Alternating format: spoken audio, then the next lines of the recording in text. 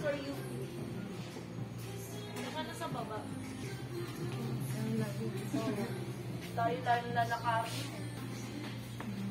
Sa ako ko. Inayos ko kasi yung ano sabi ko. Saan naman yun? Pag gabi?